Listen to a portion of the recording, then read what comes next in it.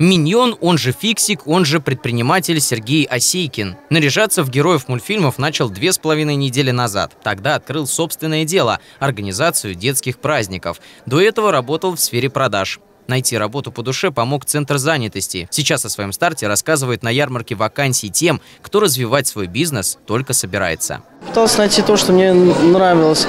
И пришел к выводу, ну, в поисках работы, да, пришел к выводу к тому, что э, почему бы мне не сделать самостоятельно то, что я делал, например, э, уже на кого-то, э, если знаешь, в принципе, все эти нюансы.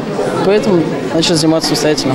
На ярмарке вакансий в Ефремове соискатели представили более 500 рабочих мест для 33 предприятий Тульской области. Тех, кому сложно сделать выбор, тестировали психологи. Те, кто с работой определился, пришли на тренинг по составлению резюме.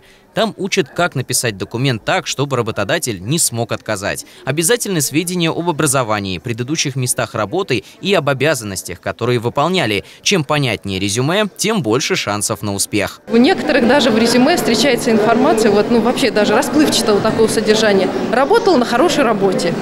Ну, конечно, это да, абсолютно общая такая формулировка. Есть такие формулировки достаточно смешные, связанные там, ну, например, работала на мехах.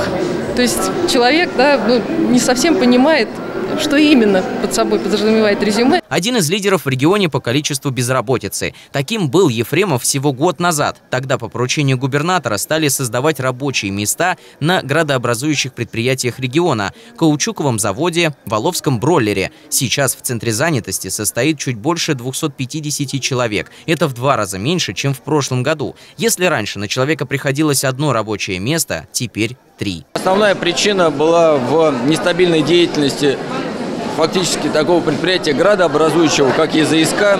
Если в 2016 году речь шла о вообще возможной приостановке деятельности данного предприятия, то благодаря подписанным соглашениям губернатором Тульской области на сегодняшний день не то, что не идет речь о закрытии, идет речь о модернизации производства, существенные инвестиции вливаются в предприятие. Всего в Тульской области в центрах занятости зарегистрировано почти 5000 человек. Для того, чтобы помочь им найти работу, ярмарки вакансий проходят регулярно во всех муниципальных образованиях региона. Как рассказывают сотрудники Центра занятости, половина из тех, кто заинтересовался работой, приходят на собеседование на предприятие. Сейчас работодатели готовы принять людей на 20 тысяч вакансий.